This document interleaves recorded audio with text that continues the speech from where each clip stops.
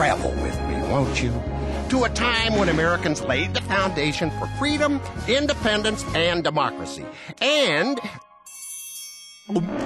Ah, and the fish was delicious. This is the story of one of those ordinary people who did extraordinary things. This is the story of Patrick. Gentlemen Henry. may cry, peace, peace, but there is no peace.